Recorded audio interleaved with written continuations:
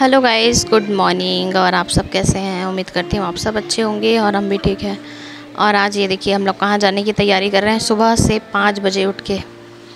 आज ना हम लोग को सीखना था स्कूटी तो हम लोग सुबह पाँच बजे उठ गए थे और अभी हम लोग गए थे स्कूटी सीखने के लिए। मैं, रीना, जैनी, बिड्डू और इसके पापा। हम चारों पाँचों लोग तो हम लोग सबसे पहले गए और ये देखिए, इसके पापा आ रहे हैं। तो हम लोग सब लोग निकल गए थे। सुबह सुबह और ये देखिए, हम लोग आ गए यहाँ रेलवे साइड। रेलवे के पास ना साइड में ग्राउंड है तो वहाँ पर का ग्राउंड देखिए, हम लोग वाला ग्राउंड बंद था। फिर हम लोग आए लाल चर्च वाले ग्राउंड में, साइड वाले में तो वो भी बंद था। तो हम लोग लाल चर्च के सामने जो ग्राउंड है ना, वहाँ पर गए तो इसमें ये थोड़ा बहुत कम जगह था। तो इसके साइड में एक और ग्राउंड है तो हम लोग वहाँ पर गए। और उसके बाद यहाँ पर मैं तो अभी तक सीख ही नहीं पाई हूँ, पता नहीं क्या है मेरा। डरपोक इंसान हूँ मैं। बहुत कोशिश कर कर के थक गई हूँ। लेकिन मेरे अंदर का डर नहीं जा रहा है अंदर से। फिर रीना चलाई, वो थोड़ा चला ले रही है। असल में वो साइकिल चलाती है ना तो उसको थोड़ा सा तरीका पता है कैसे चलाना है, क्या करना है। तो यहाँ पर बिट्टू और जेनी मेरे को सिखाने में लगे थे, मेरे को और रीना को। ऐसे करो, वैसे करो। तो बस वही सीख रही हूँ। उसके बाद ये देखिए, रीना चला रही है इतना आराम से। पहली बार चला रही है और एकदम आसानी से मस्त चला ले रही है। और एकदम ना इसका स्पीड नहीं कर दी है ज़्यादा, एकदम इसका लेवल एकदम बराबर है। एकदम मस्त से चला रही है। तो हम लोग वहाँ से सीख विक के आ गए थे, एक घंटा में, एक या दो घंटा लगा हम लोग को। और ये देखिए, अभी बज रहा है सात। तो पाँच बजे गए थे, पाँच छः छः दो घंटा हो गया। तो वहाँ से आने के बाद ना हम लोग बना रहे हैं यहाँ पे चाय। तो यहाँ पे दूध गर्म कर रही हूँ मैं, उसके बाद मैं यहाँ पे बनाऊँगी चाय। तो बस यही रहता है मेरा रूटीन और आज हम लोग तो जल्दी उठ ही गए थे तो आज मेरा काम भी फटाफट हो ही जाएगा। जल्दी उठ जाने से ना सब काम हो जाता है जल्दी जल्दी। तो यहाँ पर बन रहा था चाय, और उसके बाद हम लोग, यहाँ पे ना मैं डोसा का आटा भिगा के रखी थी परसों नरसों। तो वो तीन दिन चल गया, आज के साथ तीन दिन हो गया। अब कल के लिए कुछ करके रखना पड़ेगा। कल मैं बनाऊँगी पराठा और शिमला मिर्ची का सब्ज़ी, सुबेरे नाश्ता में। तो मैं अभी से सोच के रख ली हूँ। तो ये वाला आटा ख़त्म हुआ ना, आज थोड़ा ही सा आटा था तो इसमें एक एक पतला पतला डोसा बन जाएगा सबके लिए। और इसमें ना मैं डाल रही हूँ टमाटर, प्याज, धनिया पत्ती और हरी मिर्ची, इसमें डाल के बस घिस लूँगी इसको अच्छे से। और घिसने के बाद तवा में तेल डाल के सबसे पहले इसको थोड़ा सा फ्राई करूँगी। बस एक दो बार चम्मच चलाऊँगी और फिर आटा डाल दूँगी। तो आज वो आटा थोड़ा कम था ना तो उसमें मैं बेसन मिला दी थी थोड़ा सा।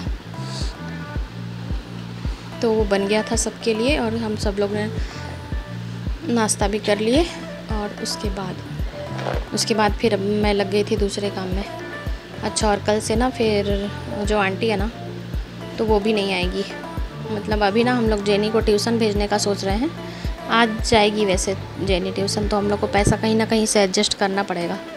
तो इसीलिए हम लोग सोच रहे हैं कि आंटी को अब से मना कर दिए कि अब कल से नहीं आएगी। आज तो झाड़ू पूछा बर्तन हो गया, मेरा कपड़ा भी, कपड़ा आज नहीं था। खाली झाड़ू पूछा और बर्तन करके गई आंटी तो और तो फिर कल से ना पूरा काम मेरे को ही करना पड़ेगा। तो ये देखिए, यहाँ पर बन रहा है मेरा डोसा। तो पता नहीं मैं कैसे करके सब कुछ मैनेज करूँगी। ठीक रहूँ तो हो जाता है, लेकिन क्या होता है ना कि मैं थोड़ा सा मैं थक जाती हूँ। एक दो बार थोड़ा सा वो करूँगी तो एकदम से थक जाऊँगी। बस वही परेशानी है मेरा और कुछ नहीं है। नहीं तो काम करने का कोई परेशानी नहीं है। काम आसानी से कर सकती हूँ मैं पूरा। बस मैं थकूँ मत तो फिर हो जाएगा। खैर, परमेश्वर को पता है ना कि कितना, कब क्या कर सकती है तो उस हिसाब से संभाल लेंगे सब। तो ये देखिए, यहाँ पे ना प्याज, टमाटर का थोड़ा सा वो बचा हुआ था काटी थी जो मैं तो उसके साथ मैं खा ली। और हम सब लोगों ने नाश्ता तो कर लिया है, उसके बाद अब मैं आ गई हूँ बिस्तर ठीक करने में, क्योंकि हम लोग वहाँ से थक हार के एकदम आए थे ना तो इतना ज़्यादा भूख लग रहा था हम लोग को, सबके सबको। तो सब लोग पहले चाय वाय पिए उसके बाद ही अपने काम में लगे। और आज ना जैनी ट्यूशन जाने के लिए एक पानी बॉटल भर के रखी थी मेरा गुलाबी वाला पानी बॉटल वो मेरा इतना अच्छा बॉटल था ना वो मेरे को बहुत ज़्यादा पसंद था और उसको मैं ख़रीदी नहीं थी इसके पापा को ना आ, कोई गिफ्ट में दिए थे बच्चे लोग। उनके ऑफ़िस में टीचर्स डे के दिन। गिफ्ट मिला था उनको तो वो बॉटल मेरे को देखते इतना अच्छा लगा था। ज़िंदगी में पहली बार ऐसा बॉटल मिला था मेरे को, और वो मेरे पसंद का, वो भी गुलाबी कलर का। तो फिर ना, जेनी और बिट्टू से थोड़ा सा बैग से वो छूट गया तो वो पूरा एकदम टूट गया, क्योंकि कांच का बॉटल था अंदर से और ऊपर से ना प्लास्टिक का वो लगा हुआ था। क्या बोलते जो कवर करते हैं ना, वैसे। और छोटा सा था, मेरे बैग में ना आराम से आ जाता था। तो मैं कहीं भी जाती थी तो उसी बॉटल को लेके जाती थी। और वो महँगा वाला बॉटल था तो उतना महँगा ख़रीदने के लिए तो हम लोग को सोचना पड़ता है। मिडिल क्लास वालों का ना यही परेशानी है। कुछ भी करने से पहले ना हज़ार बार सोचना पड़ता है कि हम ये ख़रीदें कि नहीं ख़रीदें, हम यहाँ जाएँ कि नहीं जाएँ, हर चीज़ सोच समझ के करना पड़ता है। और पूरा घर का ज़िम्मेदारी रहता है ना तो नहीं हो पाता है। तो यहाँ पर हाँ तो उसके बाद ना वो बॉटल टूट गया और अभी दिखाऊँगी मैं बॉटल का। तो फिर और एक वो पसंद था, वो भी गया। और मेरे को ना एक सैंडल पसंद था। ऐसे तो मेरे को, मेरे पास है सैंडल और मैं लेती भी नहीं। आजकल सैंडल नहीं लेती, मैं हल्का सा स्लीपर टाइप का लेती हूँ तो वही पहनती हूँ। आजकल मेरा पैर भी दर्द होता है ना तो मैं सैंडल वैंडल नहीं पहनती। और पहली बार ना, दो साल, दो तीन साल पहले एक सैंडल ख़रीदी थी। वो मैं अपने पसंद से ख़रीदी थी, उसको मैं पैसा वैसा नहीं देखी थी। छः सौ का या सात सात सौ का था वो। तो फिर उसको ना मैं पहली बार पहनी और वो पहली बार ही मिला था मेरे को पसंद वाला। इतना ज़्यादा पसंद था वो मेरे को और मैं इतना अच्छा शौक़ से पहनी थी। तो फिर ना वो सैंडल में ना मैं शादी में गई थी पहन के और शादी से कोई चोरी करके ले गया। उस दिन मेरे को इतना ज़्यादा आखरा था कि पूछो मत। तो वही है ना, मेरे को जो पसंद रहता है ना, वो हमेशा मेरे पास कभी नहीं आता है। वो मेरे से दूर ही चला जाता है।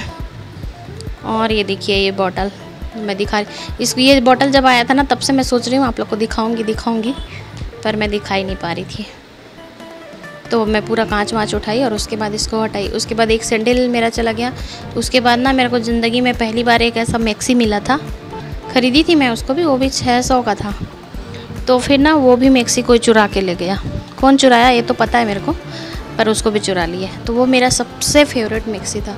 और अभी जितना मिक्सी में पहनती हूँ ना, वो सब एकदम ढिलंगा, ढालंगा, अजीब सा रहता है। उसमें कोई फिटिंग विटिंग नहीं रहता, लेकिन एक पहला था जो मेरे को इतना ज़्यादा पसंद था तो वो भी चला गया। बोलते हैं ना, किस्मत में नहीं रहता ना तो मिल भी नहीं मिलता। और अभी ना हम लोग गए थे मार्केट उसके बाद वहाँ हमारा चावल ख़त्म हो गया था तो हम लोग चावल लेने गए थे, और इस चावल में देखिए एक कीड़ा चल रहा है। तो अभी ना एक दूसरा चावल लेके आए हम लोग। उसके बाद फिर से भूख लग गया था इन लोग को तो फिर मैं वहाँ पे ना उबाली थी, वो शक्करकंद जो मैं संडे को लेके आई थी मार्केट से, ऐसे ही रखा हुआ था। तो उसको हम लोग सब खा लिए एक बार फिर से। और यहाँ पर ना, आज मेरे को कुछ कुछ खट्टा खट्टा सा खाने का मन कर रहा था तो मैं यहाँ पर इमली का वो जो बनाते हैं ना, प्याज, सरसों, जीरा, अदरक, लहसुन डाल के तो वैसे वाला बनाई थी। और इधर साइड में बनाई हूँ गवार फली। तो अभी जैसे खाना बना रही हूँ ना तो वैसे ही साथ साथ में मैं इसको भी करते जाऊँगी, पूरा किचन साफ़ कर दूँगी एक साथ। और यहाँ पर जो बर्तन रहेगा ना, सबको माल दूँगी। तो अब क्योंकि मेरे को ही करना है तो बर्तन जमा करके नहीं रख सकती मैं। तो अब साथ साथ में ही पूरा कर दूँगी तो हो जाएगा। साथ में पूरा कर देते हैं ना तो होता है, अगर हम लोग छोड़ देते हैं ना बाद में करेंगे करके तो फिर बहुत मुश्किल हो जाता है। तो यहाँ पर बन गया था मेरा खाना और अगर वीडियो कैसे लगता है बताना और हाँ वीडियो पसंद आए तो लाइक, शेयर और सब्सक्राइब ज़रूर करना। और वीडियो को पूरा देखना। तो ये देखिए यहाँ पे बर्तन था। अच्छा यहाँ पर ना मैं पहले और बर्तन मांझी मैं सोची मैं वीडियो चालू करी हूँ पर वो चालू नहीं हुआ था बंद पड़ा था मोबाइल। तो फिर वो बन नहीं पाया। फिर यहाँ पर थोड़ा सा बर्तन निकला तो मैं उसका बनाई। अभी यहाँ पर मैं बहुत सारा बर्तन और मांझी हूँ। तो बस यहाँ पर ना किचन भी हो गया था मेरा साफ़। और तो ठीक है गाइस आज के लिए बस इतना ही। अपना ध्यान रखिए खुश रहिए। Bye bye